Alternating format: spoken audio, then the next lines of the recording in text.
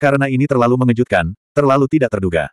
Seorang pemuda ternyata mampu mengalahkannya. Selain itu, dalam hal pedang Dao, ini adalah sesuatu yang tidak bisa dia terima. Nak, aku akui aku telah meremehkanmu. Namun, mustahil bagimu untuk mengalahkanku seperti ini. Selanjutnya, saya akan menunjukkan kekuatan sebenarnya dari teknik pedang langit.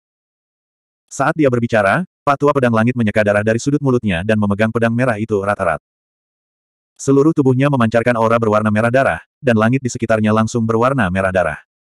Dia masih ingin bertarung. Namun, Bai Zijing, pemuda berkulit putih, mengerutkan kening. Lawannya sudah kalah, tapi dia tetap menolak untuk berhenti. Hal ini membuatnya sedikit marah. Oleh karena itu, dia mendengus pada saat berikutnya dan aura di tubuhnya meningkat dengan cepat. Tepian pedang berwarna hijau berputar di sekelilingnya dan di tengah angin, ada sambaran petir biru yang membubung dengan cepat.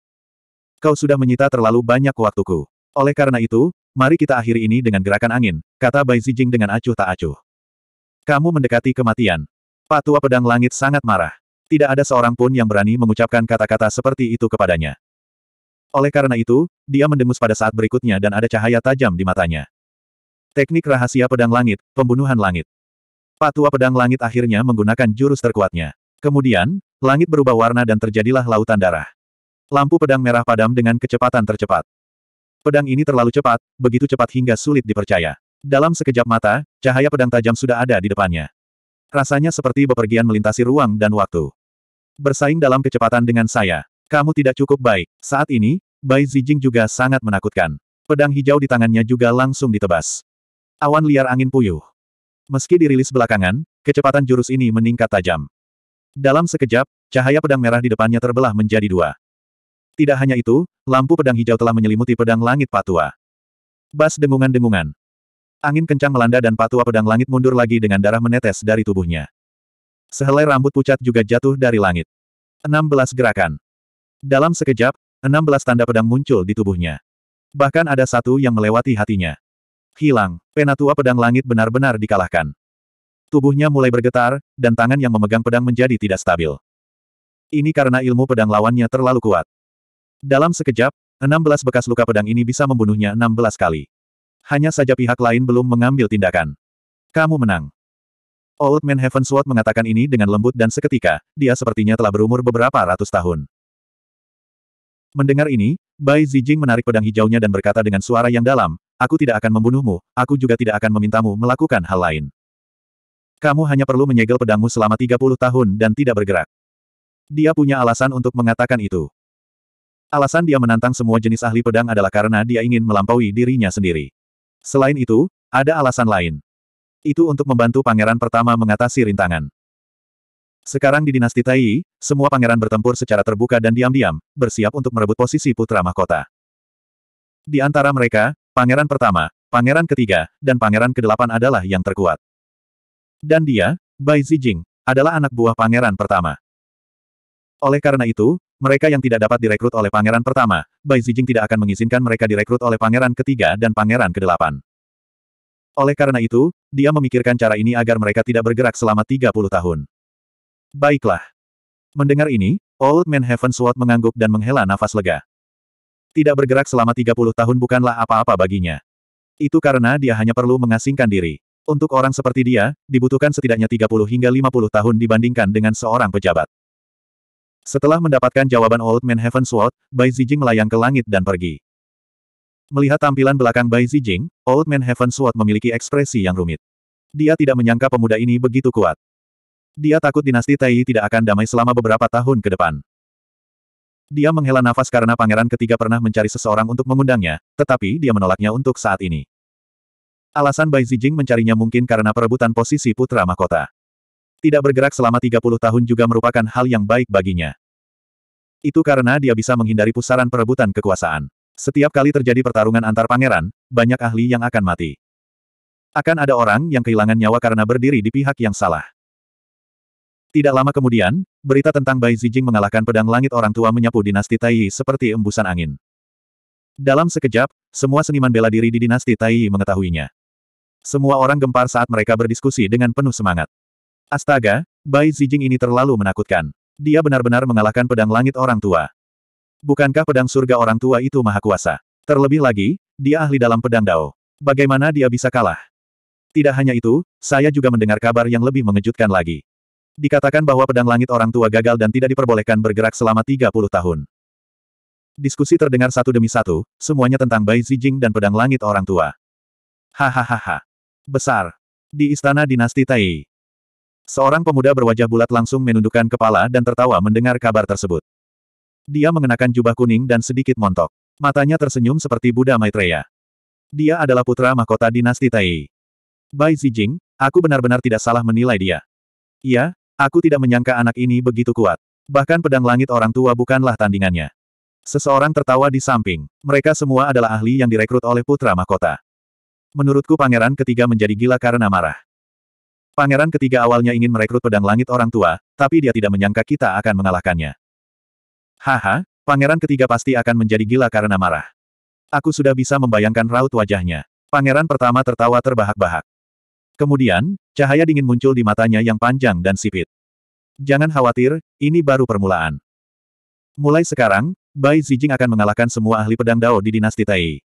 Saya akan memberitahu semua orang bahwa jika mereka tidak bergabung dengan saya, tidak ada orang lain yang bisa mendapatkannya. Di istana lain, wajah seorang pemuda jangkung dan kurus tampak muram dan marah secara tidak normal. Sampah, banyak sampah. Pemuda itu meraung.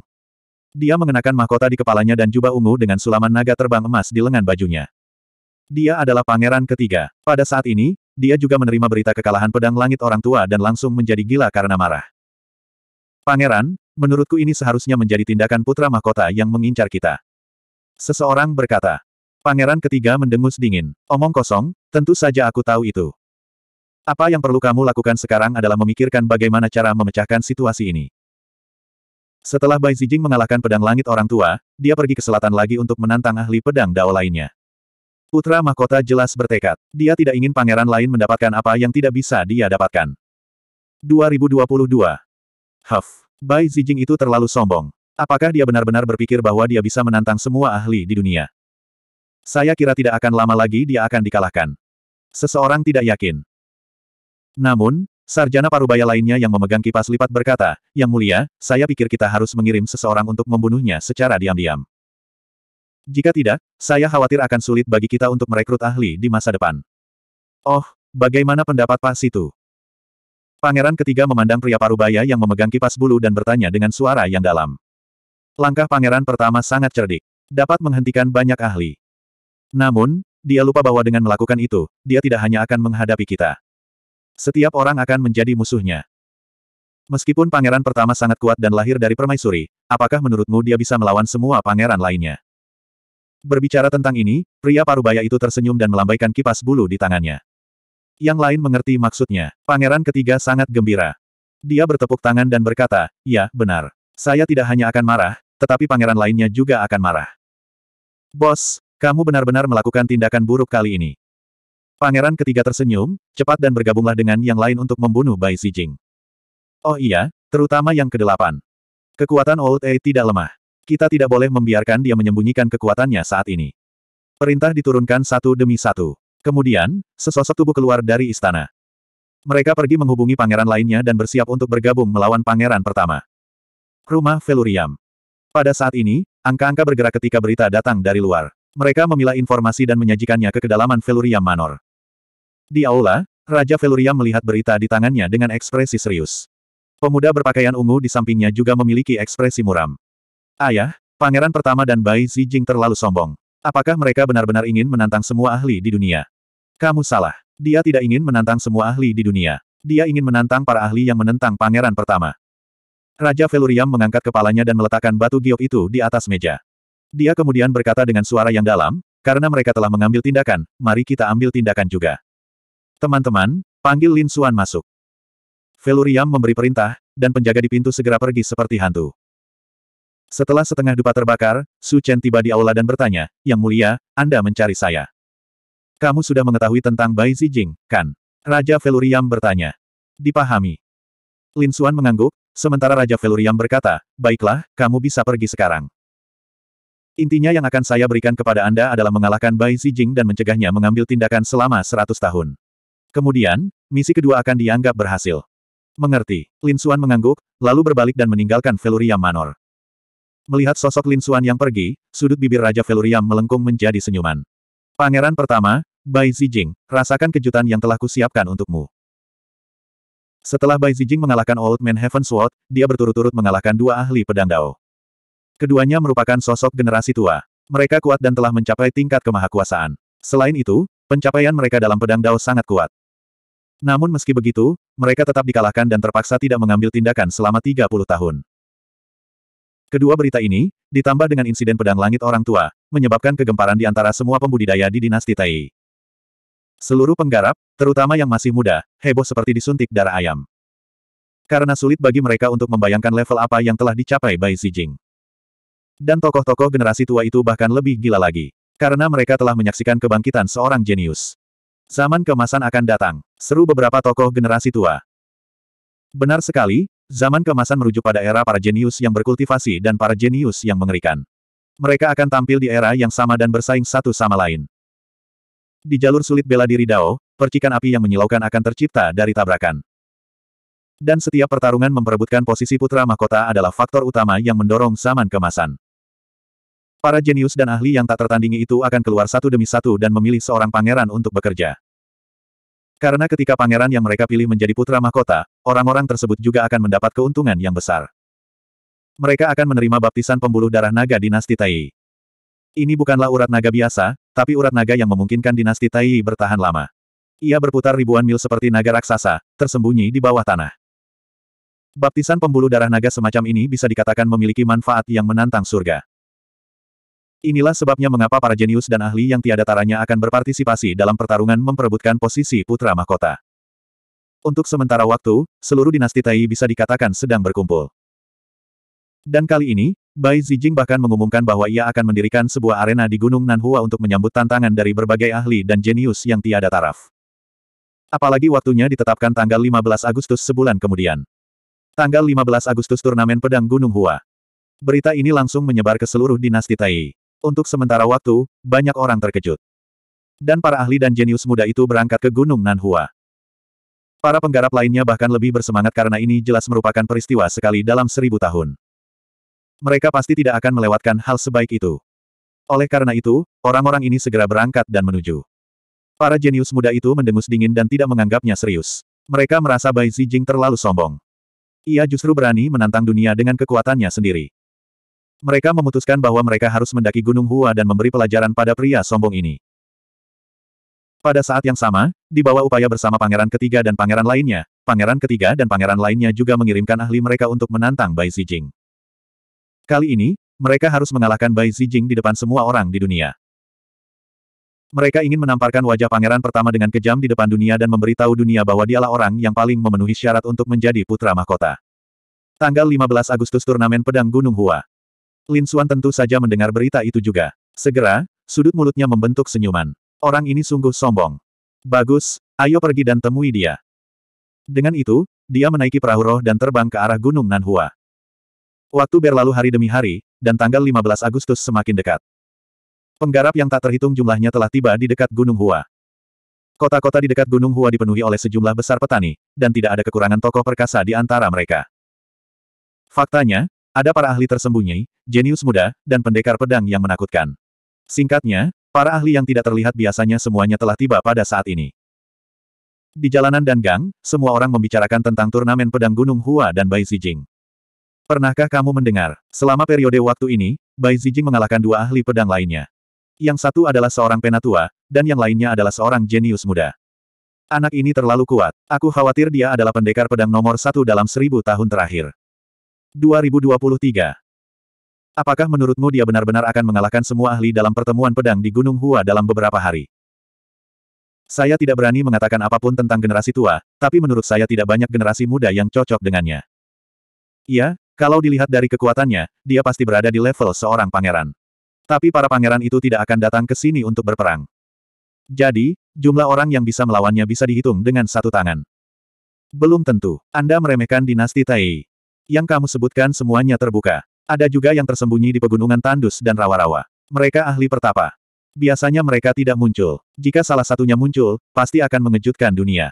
Itu benar. Saya ingat beberapa ratus tahun yang lalu, ada seseorang yang datang dari pegunungan. Dia mengalahkan setengah dari dinasti. Pada dasarnya, tidak ada seorang pun di generasi muda yang bisa menandinginya. Sekarang setelah kamu menyebutkannya, aku juga mengingatnya. Memang benar, ada orang seperti itu dalam catatan sejarah. Dia terlalu menantang surga. Hanya ada sedikit orang seperti dia. Siapa yang tahu kalau dia akan datang ke pertemuan pedang di Gunung Hua? Jika orang seperti itu tidak muncul, Bai Zijing akan benar-benar mengalahkan generasi muda. Serangkaian diskusi bisa didengar. Jelas sekali, semua orang khawatir tentang pertemuan pedang di Gunung Hua yang akan datang. Di kota yang berjarak 30.000 mil dari pertemuan pedang di Gunung Hua, terdapat formasi teleportasi super yang sangat besar. Formasi itu bersinar, dan kemudian sesosok tubuh muda keluar darinya. Dia tinggi dan mengenakan jubah brokat. Wajahnya cerah, tapi ada sedikit kejahatan. Setelah keluar dari formasi teleportasi, pemuda berwajah jahat itu mengangkat kepalanya dan melihat ke arah Gunung Hua yang menjulang tinggi di kejauhan. Kemudian, sudut mulutnya melengkung membentuk cibiran. Bai Zijing, kamu berani menantang para pahlawan Gunung Hua. Anda melebih-lebihkan diri sendiri. Aku di sini kali ini. Tunggu saja untuk dikalahkan di depan dunia. Pemuda berwajah jahat itu mencibir, lalu sosoknya berubah menjadi ilusi dan menghilang ke dalam kehampaan. Waktu berlalu dengan cepat, dan saat itu sudah tanggal 10 Agustus. Tinggal lima hari lagi hingga tanggal 15 Agustus. Selama periode ini, sejumlah besar ahli datang ke Gunung Hua. Kebanyakan dari mereka berasal dari generasi muda, dan para jenius muda itu juga datang satu demi satu. Di antara mereka, pangeran ketiga dan pangeran kedelapan adalah pemimpinnya, serta pangeran lainnya. Mereka mengirimkan bawahan mereka yang cakap, dan para jenius muda itu juga bergegas mendekat, bersiap untuk membunuh Bai Zijing. Banyak veteran yang maha kuasa datang juga. Semua ekspresi mereka dingin, dan aura mereka serius. Itu karena Bai Zijing tidak hanya mengalahkan generasi muda, tapi dia juga menantang beberapa eksistensi besar. Perilaku seperti itu membuat marah para veteran yang maha kuasa. Sedangkan sisanya, kebanyakan dari mereka ada di sini untuk menonton pertunjukan. Ini karena mereka ingin melihat level apa yang telah dicapai Bai Zijing. Di antara mereka, ada seorang pemuda yang gagah berani dan heroik. Dia berdiri dengan tangan di belakang punggung, melayang di kehampaan. Sejumlah besar seniman bela diri muda berkumpul di sekelilingnya. Namanya Li Bai, dan dia adalah seorang jenius yang sangat terkenal di kalangan generasi muda. Dia adalah bawahan pangeran ke-8. Saudara Li, kamu pernah berinteraksi dengan Bai Zijing Yin itu sebelumnya. Bagaimana kabarnya? Apakah dia sekuat yang dikatakan legenda? Seorang prajurit di sampingnya bertanya. Namun, Li Mengbai berkata dengan suara yang dalam, dia memang sangat kuat. Rumor itu seharusnya benar. Apa? Mendengar ini, ekspresi seniman bela diri di sekitarnya berubah, dan semuanya menjadi sangat serius. Itu karena mereka semua tahu tentang Li Mengbai. Selain itu, Li Mengbai juga seorang jenius terkemuka. Mereka percaya bahwa Li Mengbai pasti tidak akan membesar-besarkan dan memuji lawannya. Karena dia berkata demikian, Bai Zijing pasti sangat kuat. Awalnya, mereka mengira rumor tersebut berlebihan dan tidak bisa dipercaya. Namun jika dilihat sekarang, hal tersebut mungkin tidak terjadi. Di sisi lain, di satu puncak. Seorang pria berjubah hijau berdiri di puncak. Jubahnya berkibar tertiup angin, dan seluruh tubuhnya memancarkan aura yang sangat tajam. Pahlawan pedang Gale, Bai Zijing. Biarkan saya melihat apakah teknik pedang Gale Anda lebih kuat atau teknik pedang Dayan saya lebih kuat. Sudut mulut pria berjubah hijau itu melengkung membentuk senyuman. Jika ada yang mendengar ini, mereka pasti akan sangat terkejut. Itu karena teknik pedang Dayan sangat terkenal dan berasal dari Tanah Suci Dayan. Tanah Suci Dayan adalah tanah suci di Middle Ground. Kekuatannya sangat menakutkan dan misterius. Itu jelas merupakan eksistensi yang bisa berdiri bahu-membahu dengan dinasti. Tanpa diduga, Tanah Suci Dayan juga mengirimkan seseorang. Selama beberapa hari terakhir, Lin Xuan telah menaiki perahu roh dan terbang cepat menuju Gunung Hua. Namun, masih ada jarak. Dia tidak terburu-buru. Sebaliknya, dia berkultivasi secara diam-diam untuk mempertahankan kondisi puncaknya. Itu karena dia tahu bahwa karena pihak lain ingin menantang para ahli dunia, dia tidak akan pergi setelah hanya menantang satu atau dua orang. Dia punya banyak waktu dan peluang. Hari-hari berlalu dengan sangat cepat. Dalam sekejap mata, saat itu tanggal 15 Agustus. Pada hari ini, semua orang bersemangat saat mendaki Gunung Hua yang tingginya puluhan ribu kaki. Sejak zaman kuno, telah ada jalan setapak di Gunung Hua, yang berarti Gunung Hua sangat berbahaya. Itu seperti jurang alami. Namun, itu bukanlah masalah bagi raja yang maha kuasa ini. Mereka semua membubung ke langit seperti kilat dan tiba di Gunung Hua. Saat ini, sudah ada beberapa sosok yang berdiri di puncak Gunung Hua. Orang yang memimpin adalah seorang pemuda berkulit putih. Dia seperti pedang ilahi yang tiada taranya saat dia berdiri di sana dengan tenang, memancarkan aura yang tajam. Di punggungnya, dia membawa pedang hijau. Dia adalah Bai Zijing. Kali ini dia tidak datang sendiri. Masih ada beberapa seniman bela diri yang berdiri di belakangnya. Orang-orang ini dikirim oleh pangeran pertama untuk mencegah Bai Zijing dipukuli oleh orang banyak. Di antara mereka, seorang pria dan seorang wanita berdiri sangat berdekatan. Mereka tampak seperti antek Bai Zijing. Ya ampun, kali ini ada cukup banyak ahli. Pria berbaju biru itu melihat sekeliling dan segera menyipitkan matanya. Wanita berbaju merah di sampingnya mendengus pelan. Tidak ada gunanya tidak peduli berapa banyak orang yang datang. Tidak ada seorang pun yang bisa menandingi Bai Zijing. Kecuali yang maha kuasa yang tiada taranya mengambil tindakan. Aura kedua orang ini juga sangat tajam. Mereka juga merupakan generasi muda yang berbakat. Bai Zijing, Raja Pedang Termuda. Kamu terlalu sombong. Nak, biarkan aku menghancurkan legendamu. Saat ini, seorang pemuda berjalan keluar dengan langkah besar. Pemuda ini berpakaian hitam dan berwajah kurus. Namun, aura di tubuhnya sangat kejam. Ada pedang panjang berwarna ungu di pinggangnya. Pedang itu panjangnya setengah meter dan lebarnya tiga jari. Tidak ada sarungnya. Orang dapat melihat bahwa ada pola pedang sederhana yang terukir pada pedang itu. Siapa orang ini? Beraninya dia menjadi orang pertama yang melangkah maju. Apakah kamu tidak kenal dia? Dia adalah pedang petir ungu, Lei Yaotian. Apa? Dia Lei Yaotian, sang jenius pedang legendaris. Dikatakan bahwa teknik pedangnya sangat menakutkan dan berasal dari guntur ilahi sembilan surga. Ini terlalu menarik. Saya tidak menyangka Lei Yaotian yang terkenal menjadi orang pertama yang maju. Pertempuran ini pasti akan seru. 2024. Semua orang bersemangat. Mereka tidak menyangka akan melihat pertempuran seru begitu mereka tiba di Gunung Hua. Nak, apakah kamu mendengar itu? Cepat hunus pedangmu dan biarkan aku mengalahkanmu. Lei Aotian berkata dengan dingin. Di sisi lain, Bai Zijing tetap tenang. Dia melirik Lei Aotian, lalu mengalihkan pandangannya dan berkata dengan acuh tak acuh. Tidak perlu, kamu bukan tandinganku. Apa? Mendengar itu, semua orang menjadi gempar. Suara diskusi terdengar seperti guntur yang teredam, menyebar ke sekeliling. Terlalu banyak orang yang datang ke pertemuan pedang di Gunung Hua kali ini. Sekilas, ada lebih dari satu juta orang. Selain bagian depan, di mana terdapat cukup ruang, tempat lain, termasuk langit, pegunungan di kejauhan, pepohonan kuno, dan aliran sungai pegunungan, semuanya dipenuhi oleh seniman bela diri. Namun, banyak orang yang tercengang saat mendengarnya. Apa yang dia katakan? Dia bukan tandinganku. Dia sebenarnya meremehkan Lei Aotian. Anak ini terlalu sombong. Sejauh yang saya tahu, Lei Aotian sangat kuat dan terkenal. Dia sama sekali tidak lebih lemah dari Bai Jing. Di depan, wajah Lei Aotian berubah muram saat mendengar itu. Tatapannya suram, dan mata sipitnya memancarkan cahaya dingin. Bagus bagus bagus. Aku selalu menjadi orang yang sombong. Aku tidak menyangka akan bertemu seseorang yang bahkan lebih sombong dariku hari ini. Namun, nak, kamu akan membayar harga atas kesombonganmu. Saat dia mengatakan itu, Lei Aotian mengeluarkan pedang ungu di pinggangnya dan menikamnya. Ledakan. Di saat yang sama, petir ungu turun dari langit, membentuk lautan petir yang menakutkan. Semua orang merasa kulit kepala mereka mati rasa dan jantung mereka berdetak kencang. Itu karena kekuatan petir yang dibentuk oleh serangan pedang itu terlalu menakutkan. Namun, Bai Zijing tidak bergerak sama sekali. Dia masih berdiri dengan tangan di belakang punggung dan berkata dengan acuh tak acuh. Orang ini tidak layak menerima seranganku. Bei Chen, Aku serahkan dia padamu. Baiklah. Aku akan bermain dengannya. Pada saat itu, pria berjubah biru di belakang Bai Zijing tertawa.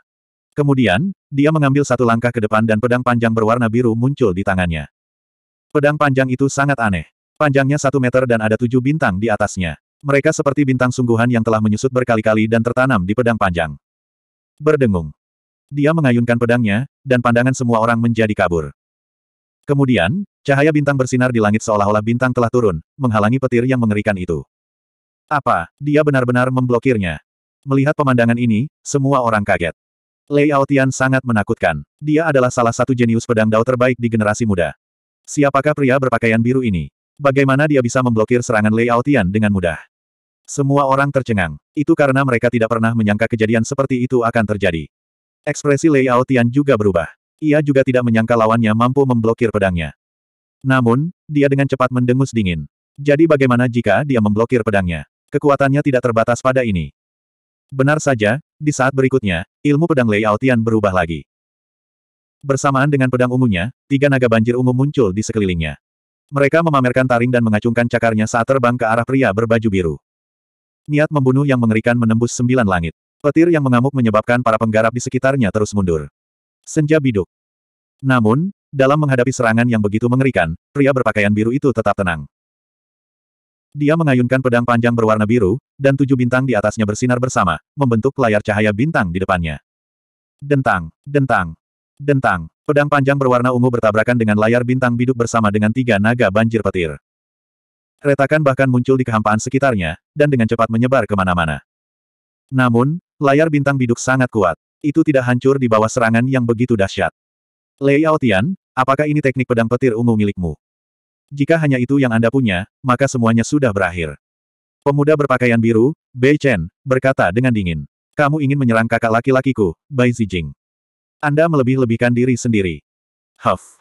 Kaulah yang melebih-lebihkan dirimu sendiri. Lei Tian mendengus dingin. Beraninya kamu melawanku. Kali ini, aku akan memberitahumu betapa kuatnya aku. Saat berikutnya, dia meraung, dan cahaya di tubuhnya bersinar lebih terang. Garis-garis pedang Ki melonjak keluar dari pedang panjang, berubah menjadi sambaran petir dan membentuk lautan petir yang menakutkan. Lautan petir ungu menerangi seluruh langit. Dalam sekejap, energi mengerikan menembus kehampaan. Teknik pedang petir ungu, hancurkan. Petir ungu yang memenuhi langit membentuk garis-garis bayangan pedang ungu menakutkan yang menebas ke depan. Bayangan pedang ungu satu demi satu, totalnya enam, berputar-putar di udara, membentuk tirai pedang ungu, dan dengan cepat ditebang dengan kekuatan besar. Lei Aotian akhirnya menggunakan teknik pedang petir ungu. Sepertinya dia sangat marah. Setelah teknik pedang petir ungu digunakan, bahkan sosok perkasa pun harus berusaha sekuat tenaga untuk menghadapinya. Pemuda berpakaian biru itu mungkin tidak akan mampu menahannya sama sekali. Memang benar, Bai Zijing terlalu sombong. Dia tidak mengambil tindakan sendiri namun menyuruh bawahannya yang melakukannya. Lihat saja, aku pasti kalah kali ini. Penghancuran ilusi biduk. Pada saat ini, pemuda berpakaian biru, Bei Chen, juga mendengus dingin. Tatapannya menjadi sangat tajam, dan bintang berkelap-kelip di matanya. Pedang biduk juga mengeluarkan cahaya yang menakutkan. Di pedangnya, biduk bersinar, membentuk cahaya pedang yang indah. Lalu, dia menebas dengan pedang. Ledakan, ledakan, ledakan. Ditemani bayangan pedang yang menakutkan ini, sebuah fenomena aneh muncul di langit. Tujuh bayangan bintang besar muncul, terhubung membentuk biduk. Ribuan garis cahaya bintang turun. Semua kekuatan ini dicurahkan ke dalam bayangan pedang itu. Segera, Kekuatan bayangan pedang meroket. Teknik pedang macam apa ini? Ini terlalu menakutkan. Para pembudidaya di sekitarnya terkejut, dan mereka merasakan hawa dingin merambat di punggung mereka. Itu karena niat membunuh ini terlalu menakutkan dan tajam. Ledakan, ledakan. Saat berikutnya, keduanya bertabrakan. Kemudian, enam bayangan pedang ungu besar di langit langsung hancur berkeping-keping. Sementara itu, cahaya pedang biduk menembus petir ungu yang memenuhi langit dan menebas Lei Aotian dengan keras. Puff! Lei Aotian memuntahkan darah dan terbang keluar. Apa? Lei Aotian dikalahkan. Saat semua orang melihat pemandangan ini, mata mereka melebar, dan bola mata mereka hampir jatuh. Karena ini terlalu sulit dipercaya. Jika Bai Zijing bergerak dan mengalahkan Lei Aotian, mereka mungkin masih bisa menerimanya. Tapi sekarang, Bai Zijing tidak bergerak sama sekali. Hanya pemuda berpakaian biru di sampingnya yang telah mengalahkan Lei Aotian dengan cara yang begitu mendominasi. Ini membuat mereka merasa seperti sudah gila. Dalam sekejap, semua orang menjadi gempar. Namun, di tengah kerumunan, para senior dan keajaiban yang tiada taraf itu mengerutkan kening. Itu karena mereka menemukan bahwa kemenangan pemuda berpakaian biru itu bukanlah keberuntungan sama sekali, melainkan kekuatan. Kekuatannya memang di atas kekuatan Lei Yaotian. Siapakah pemuda berpakaian biru ini? Dia sangat kuat. Terlepas dari apakah itu kecepatan, kekuatan, atau pencapaian dalam teknik pedang, dia berada di atas Lei Yaotian. Brengsek, kapan penolong sekuat itu muncul di samping Bai Zijing? 2025. Brengsek, bagaimana ini mungkin? Kapan penolong sekuat itu muncul di sisi Bai Zijing? Pangeran pertama, mereka pasti rakyat pangeran pertama. Pangeran pertama ini terlalu menakutkan, di mana dia menemukan begitu banyak ahli muda. Kekuatan mereka mungkin tidak lebih lemah dari Bai Zijing. Masih ada wanita berbaju merah di sampingnya yang belum bergerak. Mungkinkah wanita berbaju merah ini juga seorang jenius yang sangat menakutkan? Diskusi terdengar satu demi satu. Jelas sekali, pemandangan ini benar-benar di luar dugaan mereka. Lei Aotian sudah menjadi seorang jenius muda yang sangat kuat, tetapi di depan Bai Zijing, dia bahkan tidak memiliki kekuatan untuk membuatnya bergerak. Memikirkan hal ini, kulit kepala semua orang menjadi mati rasa. Melihat situasi saat ini, jika yang lemah menonjol, Bai Zijing tidak akan bergerak sama sekali. Dua orang di sampingnya akan mampu menghadapinya. Dengan kata lain, jika mereka ingin Bai Zijing bergerak, Pertama-tama mereka harus mengalahkan pria berbaju biru dan wanita berbaju merah di sampingnya. Hal ini juga mencegah semua orang menggunakan taktik roda pada Bai Zijing untuk menghabiskan kekuatannya sampai batas tertentu. Aku akan melawanmu. Pada saat ini, suara keras dan jelas lainnya terdengar. Kemudian, semua orang menoleh, dan jutaan tatapan tertuju pada satu sosok. Itu adalah seorang pemuda jangkung, tingginya lebih dari dua meter, seluruh tubuhnya berwarna perunggu. Dia seperti menara besi, membuat orang merasa berat. Benar saja, saat dia berjalan, gunung-gunung di bawahnya bergetar. Siapa orang ini? Ah, sungguh kekuatan yang menakutkan. Saya rasa dia bisa menghancurkan pegunungan ini dengan satu langkah. Itu dia, pedang mengamuk, Chong Lou. Apa, itu sebenarnya dia? Mendengar ini, para pembudidaya di sekitarnya sangat terkejut. Namun, Tak lama kemudian, seseorang mengerutkan kening. Meskipun pedang berserk Chong Lou juga kuat, dia masih sedikit kalah dengan pedang petir ungu Lei Aotian. Bahkan Lei Aotian bukan tandingannya, tapi berserk Sword Chong Lou berani keluar. Sejujurnya, mereka memang bingung. Namun, pada saat ini, seorang jenius muda berbicara dengan suara yang dalam. Tidak seperti itu. Berserk Sword Chong Lou tidak sesederhana yang kamu kira. Memang benar, Lei Aotian terlihat lebih kuat, tapi itu tercermin dari kecepatan dan teknik pedangnya. Keistimewaan Chong Lou adalah kekuatan dan pertahanannya. Dari pertarungan sebelumnya, terlihat bahwa pemuda berpakaian biru itu melampaui Lei Aotian baik dalam kecepatan maupun teknik pedang. Kecuali ada seorang jenius yang jauh lebih kuat dari Lei Aotian, barulah dia bisa mengalahkan pemuda berpakaian biru itu. Kalau tidak, mereka hanya bisa menyerang dari tempat lain. Misalnya, pedang berserk Chong Lou ini, kekuatan pertahanannya luar biasa. Oleh karena itu, tidak peduli seberapa cepat pihak lain dan seberapa terampil ilmu pedangnya, jika dia tidak bisa menembus pertahanannya, itu akan sia-sia. Terlebih lagi, karena dia dikenal sebagai pedang berserk, ilmu pedang dan kekuatannya pasti sangat menakutkan. Dia mungkin tidak bisa menandingi pihak lain dalam hal kecepatan, tapi dalam hal kekuatan, dia pasti mampu menghancurkan pihak lain. Jadi begitulah adanya. Mendengar penjelasan jenius muda ini, orang-orang di sekitarnya mengerti. Karena itu, mereka menantikannya dengan penuh harap. Pria berbaju biru, Bei Chen, memandang sosok yang menjulang tinggi di depannya dan tersenyum. Aura di tubuhmu bahkan lebih lemah dari Lei Aotian sebelumnya. Sepertinya kekuatanmu lebih rendah darinya. Bahkan dia bukan tandinganku. Apa menurutmu kamu bisa mengalahkanku? Apakah aku bisa mengalahkannya atau tidak, kita akan tahu setelah kita bertarung. Raja Iblis Pedang Liar dengan dingin mendengus dan menghentakkan kakinya. Tiba-tiba, gunung-gunung di bawahnya bergetar. Hem. Saat melihat pemandangan ini, Bai Zijing menjerit kaget. Kemudian, dia melihat ke arah pria yang seperti menara logam. Tiba-tiba, dia berkata, Bei Chen, hati-hati. Orang ini memiliki konstitusi yang kuat. Apa, konstitusi bumi yang tebal? Mendengar ini, pria berbaju biru, Bei Chen, juga terkejut. Lalu, dia menyipitkan matanya. Kamu punya konstitusi bumi yang tebal, yang dikenal memiliki pertahanan super kuat. Tidak heran, pantas saja kamu berani keluar dan melawanku. Ayo, tunjukkan padaku konstitusi tanahmu yang tebal. Coba aku lihat apakah itu sekuat dan tidak bisa dipecahkan seperti yang dikatakan legenda. Anda akan melihat. Raja Iblis Pedang Liar mendengus dingin. Pada saat berikutnya, lapisan cahaya kuning tanah muncul di tubuhnya seolah-olah dia mengenakan lapisan pelindung tanah. Garis-garis pola mirip batu muncul di permukaannya. Tidak hanya itu, dia juga mengeluarkan pedang hitam besar dari cincin penyimpanannya. Pedang itu sangat berat, seperti papan pintu. Saat dia melambaikannya dengan lembut, tekanan tersebut menyebabkan retakan muncul di kehampaan. Namun, pedang seberat itu seperti jerami di tangan Raja Iblis. Ia sangat lincah. Ledakan. Pada saat berikutnya, Raja Iblis memegang pedang besar itu dan menebasnya. Di langit, suara gemuruh terdengar. Pedang ini membawa kekuatan angin dan guntur yang menakutkan. Faktanya, retakan hitam muncul di langit. Retakan besar muncul di pegunungan di bawah. Puncak gunung yang tak terhitung jumlahnya runtuh, tidak mampu menahan kekuatan semua ini. Tirai biduk. Merasakan kekuatan mengerikan yang terkandung dalam pedang ini, pria berbaju biru, pupil mata Bei Chen mengerut. Saat berikutnya, dia mengayunkan pedang biduk di tangannya dan dengan cepat membentuk tirai bintang. Di langit, tujuh ilusi bintang besar membentuk tirai cahaya, menghalangi di depannya. Ledakan, ledakan. Suara benturan keras terdengar, dan suara gemuruh bergema di langit. Semua orang mundur dengan panik, takut mereka akan terpengaruh oleh energi ini. Namun, yang mengejutkan adalah pedang sekeras itu tidak menghancurkan tirai biduk biru. Tirai biduk terlihat sangat tipis, seperti selembar kertas, namun kekokohannya di luar imajinasi semua orang. Bai Zijing masih sangat tenang, dan wanita berbaju merah di sampingnya juga tersenyum menghina. Tidak ada gunanya, tirai biduk sangat menakutkan, bahkan sosok perkasa pun tidak bisa memecahkannya, apalagi Raja Iblis itu. Selanjutnya, giliranku menyerang. Pria berbaju biru, Bei Chen, mencibir. Dia mengetukkan pedangnya dengan ringan, dan cahaya muncul di langit, berubah menjadi bintang besar yang dengan cepat hancur. Ledakan. Pedang ini terlalu cepat, seperti meteor yang terbang. Dalam sekejap, ia tiba di depan Raja Iblis.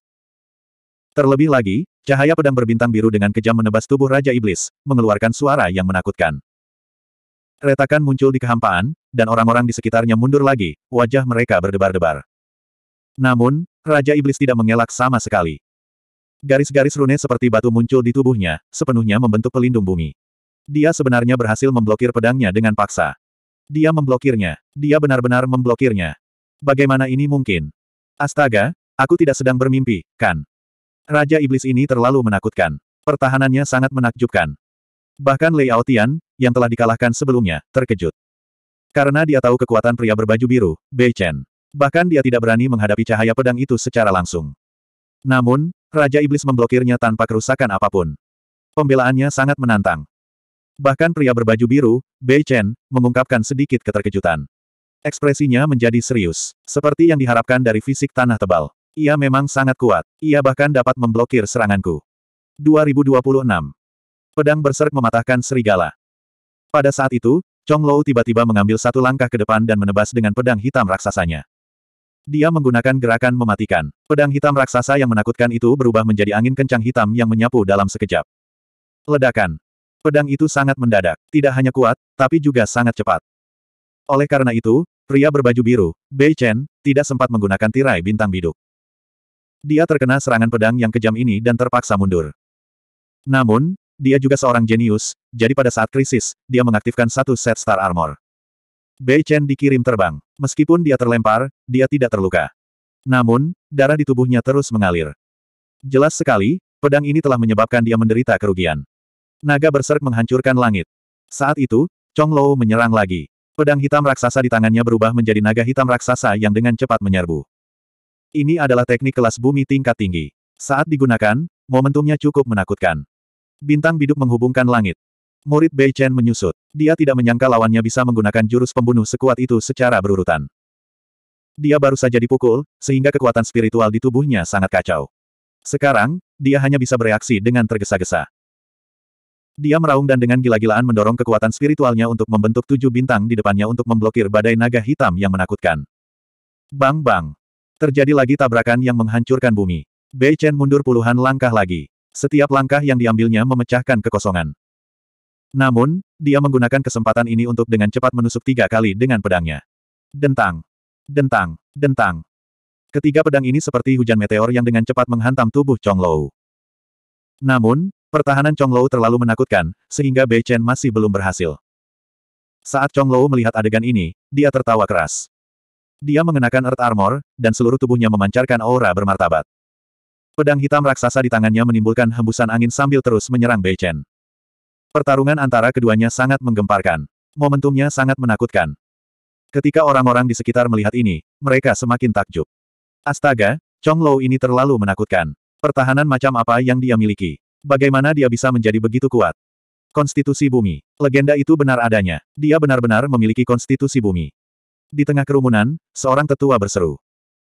Yang lain merasa bingung dan bertanya, Senior, apa sebenarnya fisik permaisuri bumi itu?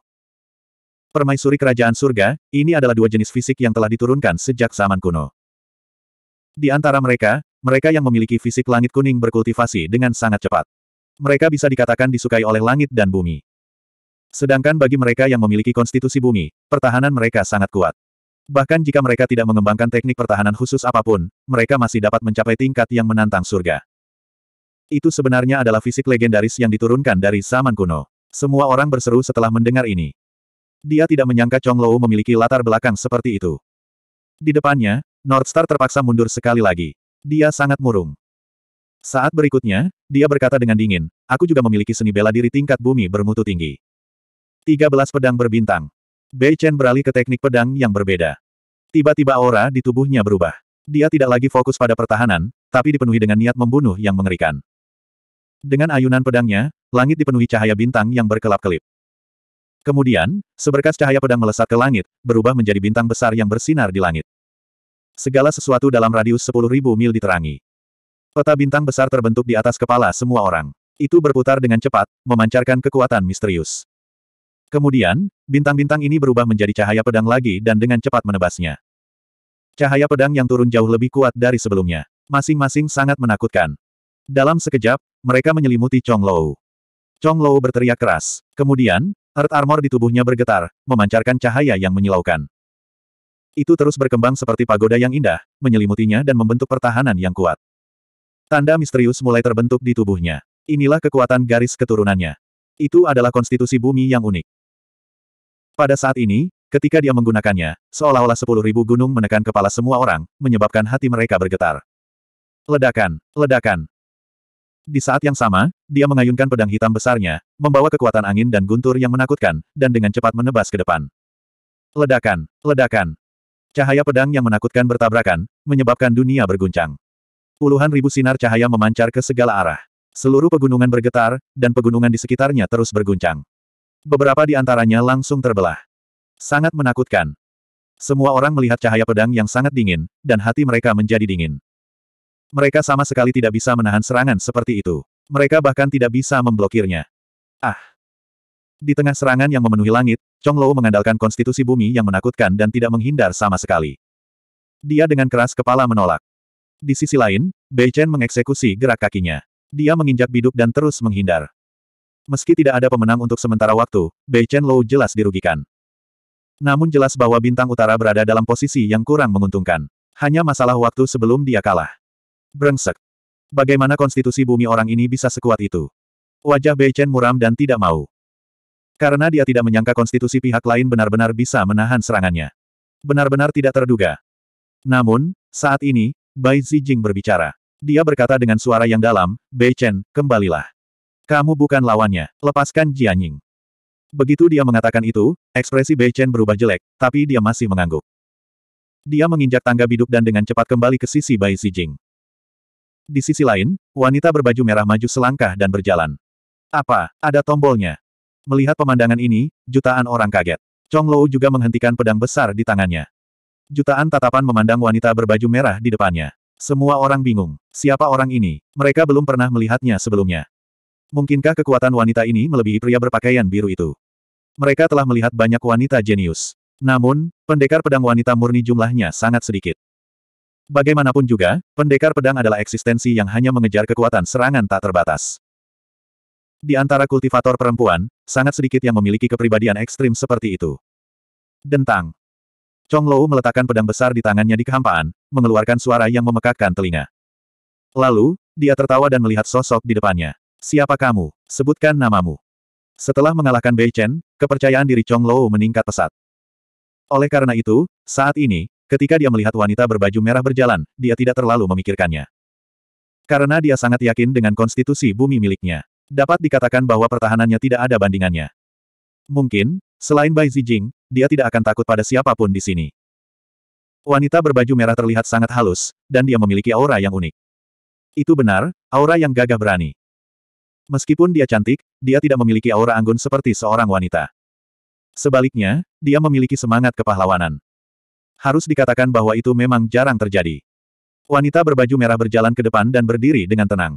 Lalu, dia berkata dengan dingin, namaku Zhou Jianying. Aku adik perempuan Bai Zijing. 2027. Wanita berbaju merah berjalan ke depan dan berdiri dengan tenang. Lalu, dia berkata dengan dingin, namaku Zhou Jianying. Aku adik perempuan Bai Zijing. Apa? Adik perempuan Bai Zijing. Mendengar ini, semua orang menjadi gempar. Bai Zijing sangat menakutkan. Adik perempuannya juga seharusnya cukup baik. Di sisi lain, Chong Lou juga bertanya dengan suara yang dalam, apa? Anda ingin membela kakak laki-laki Anda? Kalau begitu, jangan salahkan aku karena kejam. Wanita berbaju merah, Zhou Jianying, berkata dengan acuh tak acuh, jika Anda punya sarana, gunakan saja. Namun, aku hanya perlu tiga langkah untuk menghadapimu. Apa? Tiga gerakan. Mendengar ini, semua orang tercengang. Mereka tidak bisa mempercayai telinga mereka. Semua orang telah melihat fisik bumi Chong Lou. Bahkan pendekar pedang kuat seperti Bei Chen tidak bisa menembus pertahanannya. Bisa dibayangkan betapa mengerikannya fisik bumi. Namun kini, wanita berbaju merah yang baru saja muncul di hadapan mereka ini justru mengatakan akan menghabisinya dalam tiga gerakan. Ini hanyalah sebuah fantasi. Untuk sesaat, bahkan tokoh generasi tua dan para jenius di sekitarnya mengerutkan kening. Mungkinkah wanita berbaju merah ini memiliki sesuatu yang bisa diandalkan atau jurus unik? Setelah Chong Lou mendengar ini, dia tertawa terbahak-bahak. Habisi aku dengan sebuah gerakan. Kamu cukup sombong. Namun, Kamu terlalu meremehkan fisik bumiku. Kamu tidak akan berhasil. Tidak ada gunanya mengatakan lebih banyak. Lakukanlah. Di sisi lain, wanita berbaju merah, Zhou Jianying, tidak mau mengatakan apa pun. Tangannya yang seperti batu giok mencengkeram pedang panjang di pinggangnya. Itu adalah pedang panjang berwarna merah. Sangat tipis, lebarnya hanya dua jari. Tanda misterius tergambar pada bilah pedang. Cantik, lakukan saja gerakanmu. Aku tidak akan menghindar. Chong Lou tertawa. Dia sangat percaya diri dengan fisik bumi miliknya. Berdengung. Begitu dia mengatakan itu, bayangan pedang merah dengan cepat muncul di kehampaan. Dentang. Segera setelah itu, suara yang memekakan telinga terdengar. Kemudian, telinga semua orang menjadi mati rasa dan wajah mereka menjadi pucat. Mereka segera menutup pendengarannya, dan semuanya tampak ketakutan. Apa yang telah terjadi? Mereka semua tercengang karena cahaya pedang itu terlalu cepat.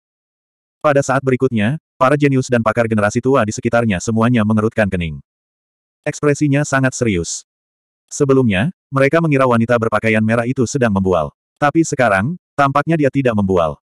Serangan pedang tadi membuat mereka merasakan rasa takut dan gentar. Mereka tidak menangkap bayangan pedang sama sekali. Warna kulit Raja Iblis berubah drastis. Sejujurnya, dia tidak memiliki keunggulan dalam hal kecepatan. Faktanya, dia berada dalam posisi yang dirugikan. Karena dia menggunakan pedang yang berat, kecepatannya biasa saja. Hanya ketika dia menggunakan beberapa keterampilan unik dia dapat meningkatkan kecepatannya. Dalam keadaan normal, kecepatannya tidak cepat. Namun, ia tidak takut dengan lawan yang cepat karena pertahanannya kuat. Jika lawannya tidak bisa menembusnya, tidak peduli seberapa cepat mereka, tidak ada gunanya. Tapi kali ini, dia benar-benar tercengang. Itu karena kecepatan lawannya terlalu cepat. Itu sangat cepat sehingga dia bahkan tidak bisa bereaksi tepat waktu. Untungnya, dia memiliki konstitusi bumi. Jadi, dia saat ini mengenakan lapisan pelindung tanah. Saat pedang itu menebas Earth Armor, pedang itu mengeluarkan suara yang sangat nyaring. Brengsek. Bagaimana ini bisa terjadi? Lalu, Raja Iblis berseru. Itu karena retakan muncul di Earth Armor yang dia kenakan. Dari kelihatannya, sepertiganya penuh. Apa, Earth Armornya terbelah? Mendengar berita ini, semua orang semakin terkejut. Ini bahkan lebih mengejutkan daripada tidak bisa menangkap bayangan pedang pihak lain. Itu karena kecepatan pihak lain yang cepat. Jika kekuatan serangannya tidak cukup baik, dia tidak akan bisa menangkapnya sama sekali. Tapi sekarang, tampaknya lawannya tidak hanya cepat, tapi kekuatan serangannya juga menakutkan. Satu serangan pedang sudah cukup untuk membelah Earth Armor. Serangan pedang kedua. Saat semua orang linglung, wanita berpakaian merah, Zhou Jianying, berbicara lagi. Kemudian, suara lain yang menggemparkan bumi terdengar. Kali ini, mereka masih tidak melihat bagaimana pihak lain menyerang. Mereka tidak melihat bagaimana cahaya pedang itu muncul. Mereka hanya mendengar teriakan Raja Iblis. Matanya terbuka lebar, dan dia tampak seperti baru saja melihat hantu. Itu karena Earth Armor di tubuhnya telah terbelah seluruhnya. Sebuah kekosongan terungkap. Bagaimana ini mungkin? Bagaimana ini mungkin? Bukankah kekuatan serangan pihak lain terlalu kuat? Dua serangan pedang dan Earth Armor terbelah. Hal ini membuat rambut Raja Iblis berdiri tegak. Earth Armor bukanlah harta karun. Itu adalah semacam kemampuan magis yang diperluas dari konstitusi bumi dan kekuatan garis keturunannya. Biasanya, bahkan sosok perkasa pun tidak akan mampu membukanya. Tapi sekarang, itu terbelah oleh dua serangan pedang. Semua orang menelan ludah mereka. Wanita berpakaian merah di depan mereka beberapa kali lebih kuat dari pria berpakaian biru sebelumnya. Namun, pada saat ini, suara mimpi buruk itu terdengar lagi. Serangan pedang ketiga. Brengsek. Raja Iblis meraung dengan marah. Kecepatan bukanlah kelebihannya, jadi dia tidak bisa mengelak sama sekali. Dia hanya bisa menerima serangan pedang pihak lain secara langsung.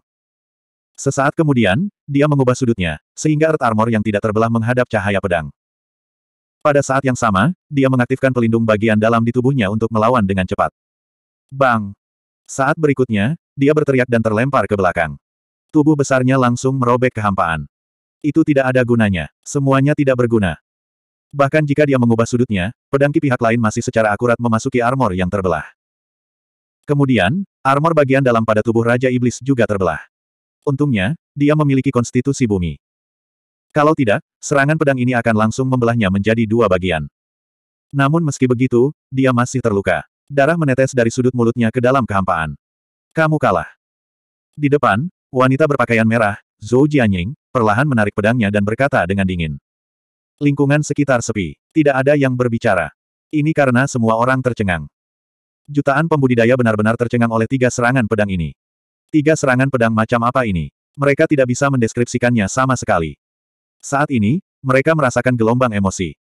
Pada saat yang sama, ada rasa dingin yang mendalam di hati mereka karena mereka menyadari bahwa meskipun mereka menghadapi tiga serangan pedang ini, mereka tidak akan mampu menyelesaikannya sama sekali. Selain menolaknya secara langsung, mereka tidak bisa memikirkan cara lain.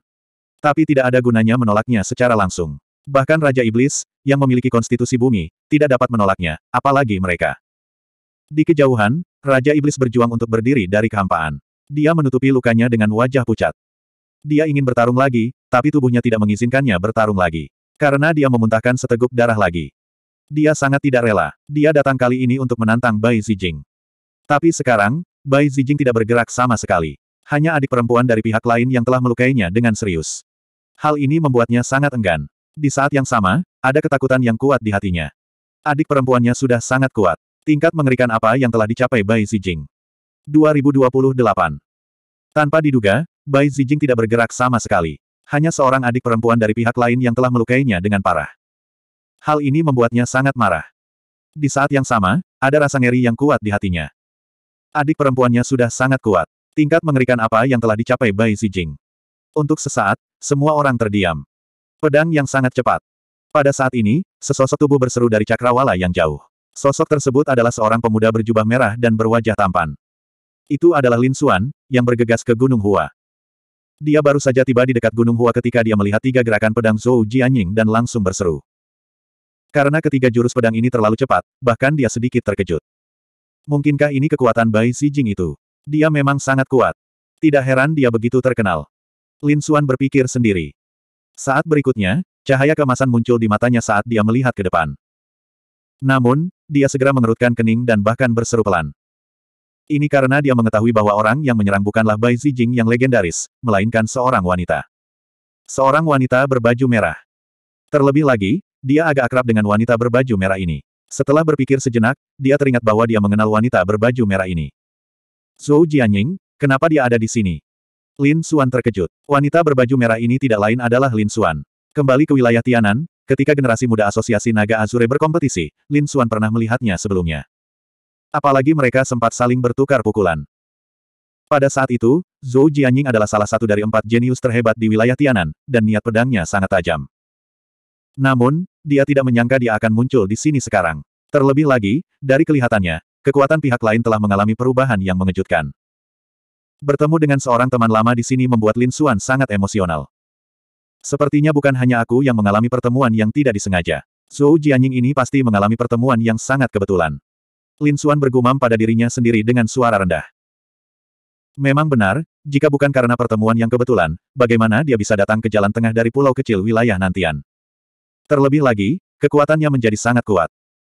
Adapun pertemuan kebetulan seperti apa yang dia alami, Lin Xuan tidak peduli. Yang dia pedulikan sekarang adalah kekuatan pihak lain dan yang mana Bai Zijing. Itu karena Bai Zi sebenarnya adalah lawannya kali ini. Awalnya, Lin Xuan mengira ini hanyalah pertarungan antara mereka berdua. Dia tidak menyangka Bai Zijing akan menciptakan tontonan sebesar itu. Jika dia ingin menantang semua orang di Gunung Hua, itu bukan urusannya. Oleh karena itu, Lin Xuan tidak terburu-buru untuk mengambil tindakan. Sebaliknya, dia segera bergabung dengan kerumunan dan menonton dalam diam. Kedatangan Lin Xuan tidak menarik banyak perhatian. Dia tidak terkenal di dinasti Tai. Terlebih lagi, dia hanyalah Raja Bintang 6 saat ini. Jenis budidaya ini tidak menonjol di antara jutaan seniman bela diri. Ada beberapa tokoh perkasa di sekitar. Selain itu, ada juga orang-orang jenius dan tetua yang kuat yang tiada taranya. Jadi, tidak ada yang memperhatikan Raja Bintang 6 belaka. Pada saat ini, pandangan mereka tertuju pada wanita berpakaian merah, Zhou Jianying, di depan mereka. Siapa lagi yang ingin menantangku? Silakan melangkah maju. Di depan, Zhou Jianying berbicara dengan dingin. Suaranya jelas terdengar di telinga semua orang. Jika tidak ada siapa-siapa, kamu harus menghormati kakak seniorku Bai Zijing sebagai pendekar pedang nomor satu di generasi muda. Mendengar ini, jutaan seniman bela diri menjadi marah. Pendekar pedang nomor satu adalah suatu kehormatan yang tak tertandingi. Karena hanya ada satu orang nomor satu di generasi muda.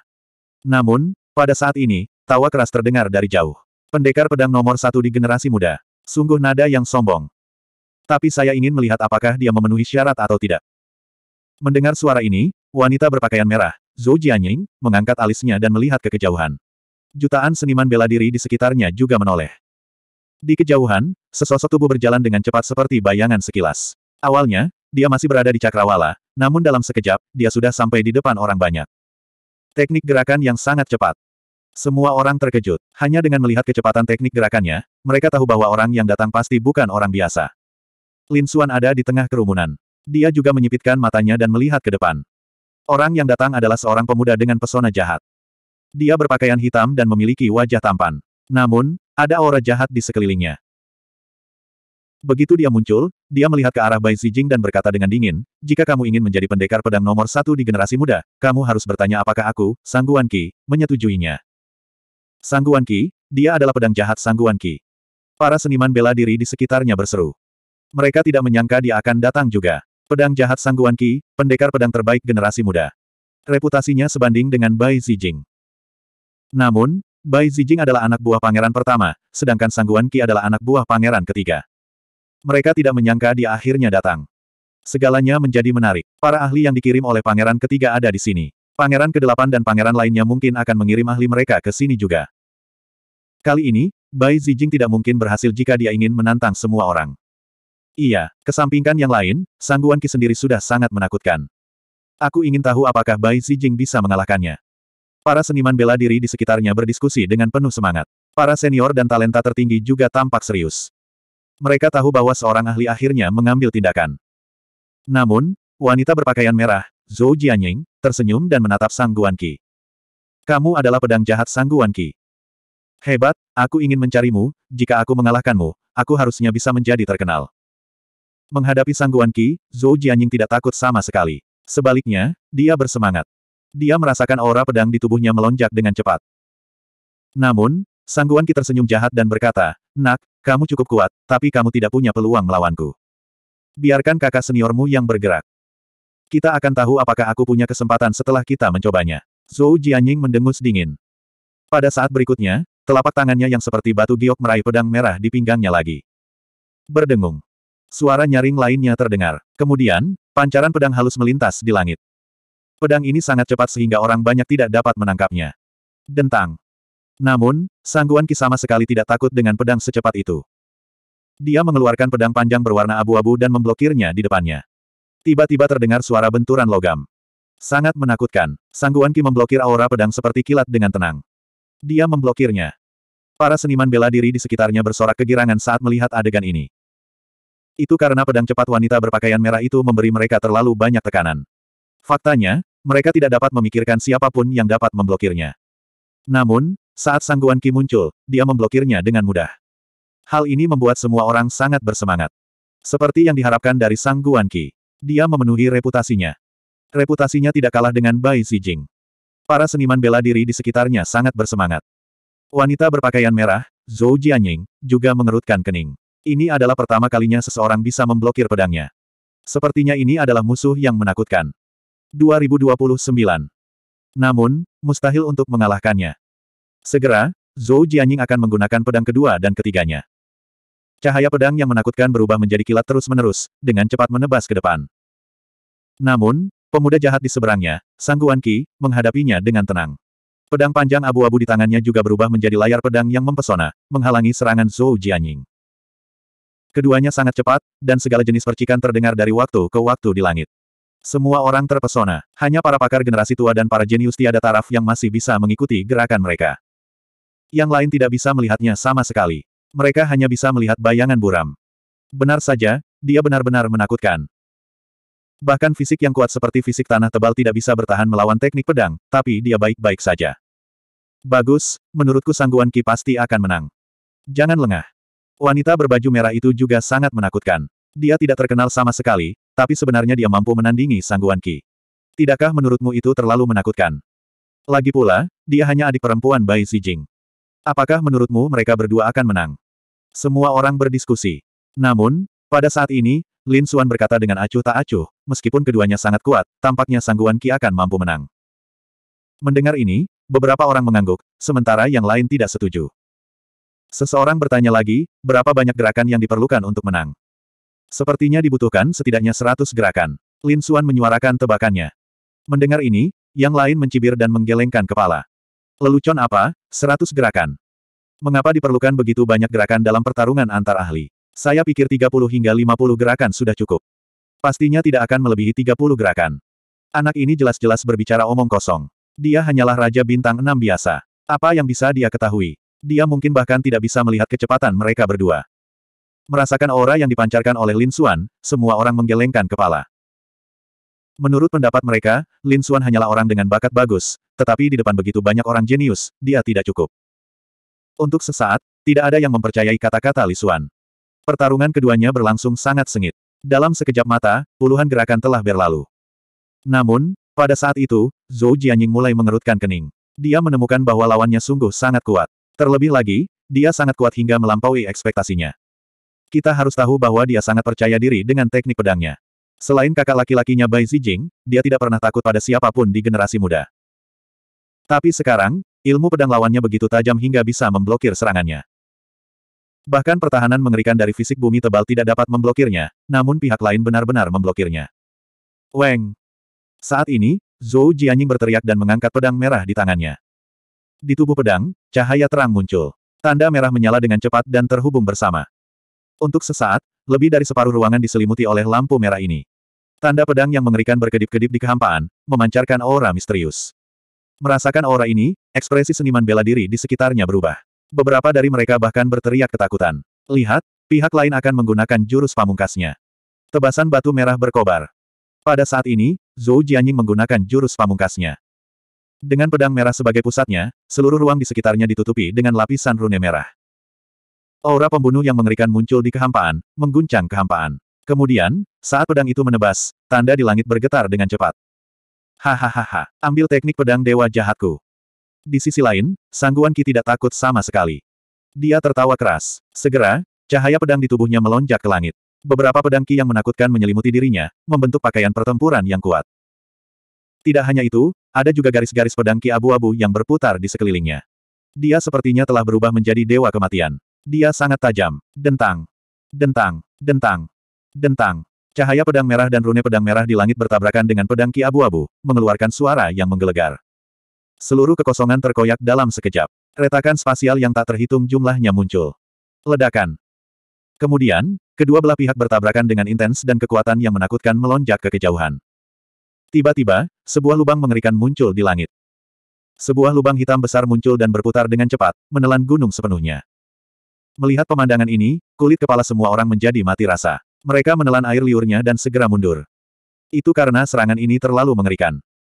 Jika mereka terkena serangan ini, mereka tidak akan mampu melawan sama sekali. Kedua orang ini terlalu menantang surga. Meskipun mereka belum mencapai level sosok perkasa, kekuatan tempur mereka telah melampaui sosok perkasa biasa. Seorang jenius yang tiada taranya, ini adalah seorang jenius sejati yang tiada taranya. Orang-orang di sekitar berdiskusi dengan penuh semangat. Mereka mengepalkan tangan karena kegirangan. Di kejauhan, Bai Zijing berdiri dengan tangan di belakang punggung, memperhatikan dengan tenang. Sementara itu, pria berbaju biru, Bei Chen, mengerutkan kening. Karena dia sangat jelas tentang kekuatan Zhou Jianying. Selain Bai Zijing, tidak banyak orang yang bisa melawannya. Tapi sekarang, Sangguan Qi benar-benar bisa melawannya. Terlebih lagi, dia bahkan bisa menahan jurus pamungkas Zhou Jianying. Itu sangat mengejutkannya. Di depan, keduanya bertarung lebih intens. Setiap kali mereka bertabrakan, sungguh menakjubkan. Namun, saat ini, Sangguan Qi mendengus dingin. Pedang abu-abu Qi terpancar dari tubuhnya. Mereka dengan cepat terjalin, membentuk domain menakutkan yang langsung menyelimuti dunia. Oh tidak, Sangguan Ki telah melepaskan domain rajanya. Sudah lebih dari 90 gerakan. Apakah hasilnya akan segera diputuskan? Di sisi berlawanan, Zhou Jianying juga mendengus dingin. Cahaya pedang merah di belakangnya membubung ke langit saat dia juga melepaskan wilayah kekuasaannya sendiri. Kedua domain tersebut terus bertabrakan di udara. Dalam sekejap mata, lebih dari 10 gerakan telah berlalu. Mereka sebenarnya telah bertukar lebih dari 100 gerakan. Semua orang berseru tidak percaya. Awalnya, mereka mengira hasilnya akan ditentukan dalam 30 langkah. Mereka tidak menyangka akan membutuhkan lebih dari 100 gerakan. Lin Xuan menyipitkan matanya. Adegan ini mirip dengan yang dia duga. Selanjutnya, tiba waktunya bagi Sangguan Qi untuk menggunakan jurus pamungkasnya. Kalau dipikir-pikir, pertarungan akan segera berakhir. Benar saja, pada saat ini, Sangguan Qi melayang di wilayahnya sendiri dan tertawa keras. Rambut hitamnya sebenarnya telah berubah menjadi abu-abu saat ini, dan bahkan membawa aura kematian. Pedang Dewa Jahat. Wajah tampannya menjadi sangat jahat. Lalu, Sangguan Qi mengayunkan pedangnya dengan kuat. Berdengung. Pedang itu menebas, memperlihatkan ketajamannya. Langit sepertinya terbelah dua, aura yang sangat jahat terpancar dari cahaya pedang, menyebabkan orang-orang di sekitarnya gemetar. Oh tidak. Merasakan pedang Qi, wajah Zhou Jianying juga berubah. Itu karena dia menyadari bahwa pedang Qi tidak hanya cepat dan kuat, tapi juga bisa mempengaruhi jiwa seseorang. Pedang Qi sebenarnya mengandung gerakan membunuh kekuatan jiwa. Zhou Jianying terkejut. Tidak heran jika disebut pedang jahat. Sungguh jahat. Dia tidak berani gegabah dan segera membela diri.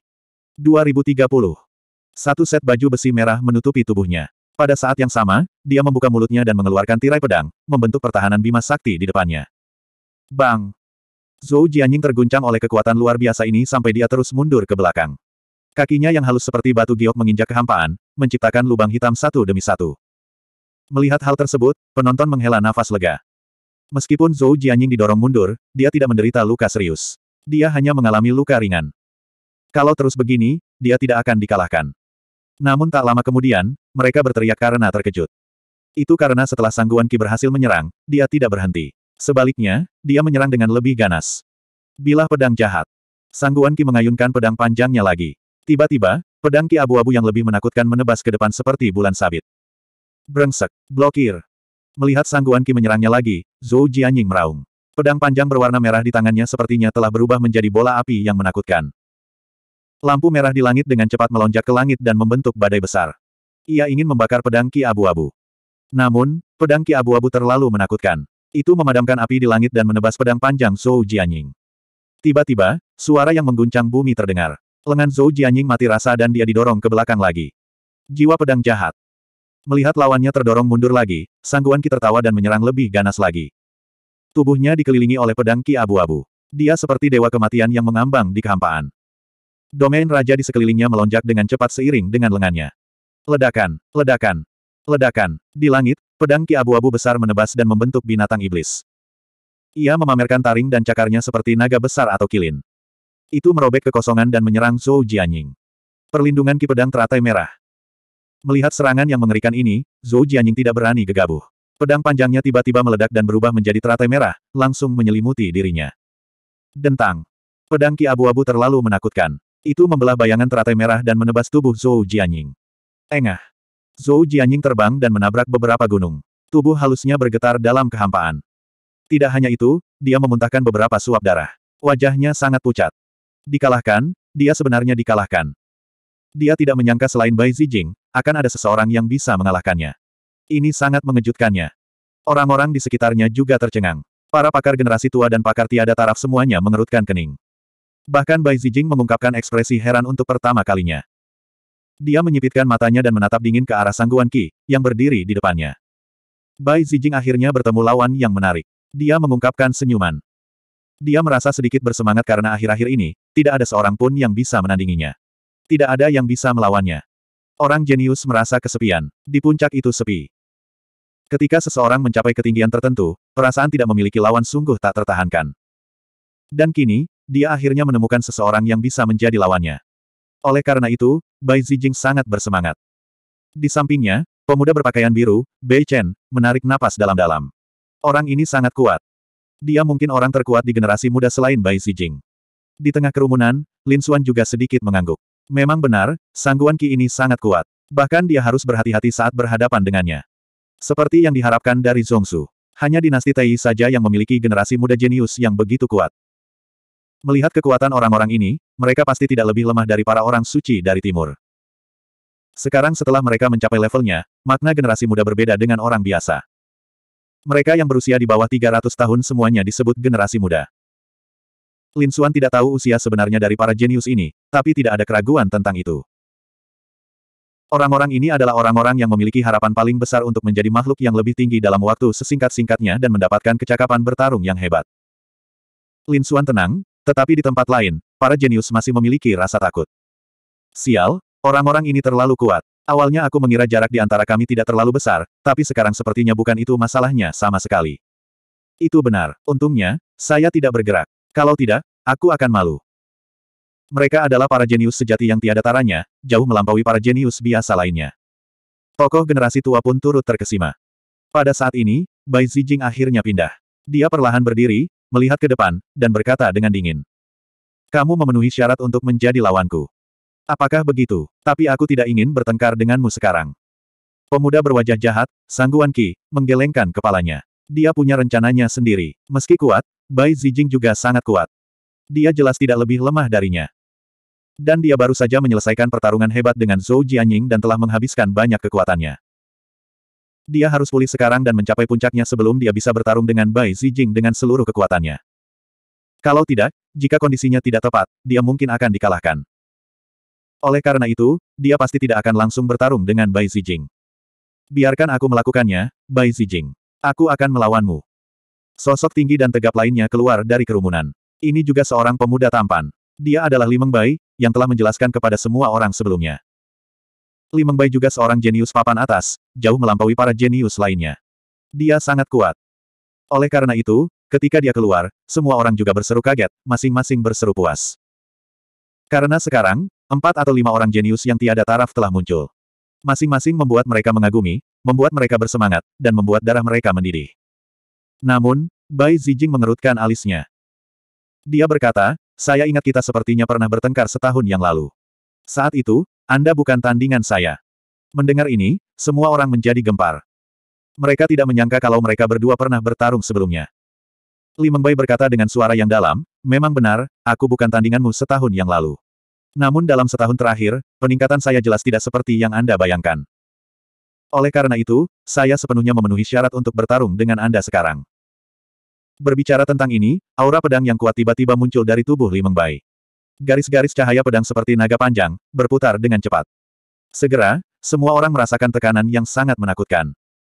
Meski Li Mengbai dikalahkan setahun lalu, tidak ada yang berani meremehkannya. Karena aura yang dipancarkannya kini mengejutkan jutaan kultivator tersebut. Lawan yang kalah tidak memenuhi syarat untuk menantang saudara Bai. Bei Chen, pemuda berbaju biru, menonjol. Dia mengeluarkan pedang biduk di tangannya. Kenapa aku tidak bermain denganmu dulu? Oke. Li Mengbai mengangguk dan tidak menolak. Dia tahu bahwa jika dia tidak menunjukkan kekuatan tempurnya yang kuat, Bai Zijing tidak akan bertarung dengannya. Jadi di saat berikutnya, dia memberi isyarat mengundang. Bintang biduk menghubungkan langit. Bei Chen menggunakan gerakan membunuh yang kuat saat dia menyerang. Pedang biduk di tangannya mengeluarkan aura yang menakutkan. Tiba-tiba, tujuh bintang besar muncul di langit. Bersama-sama, mereka membentuk cahaya pedang menakutkan yang menebas ke bawah. Dalam sekejap, hal itu menyelimuti Li Mengbai.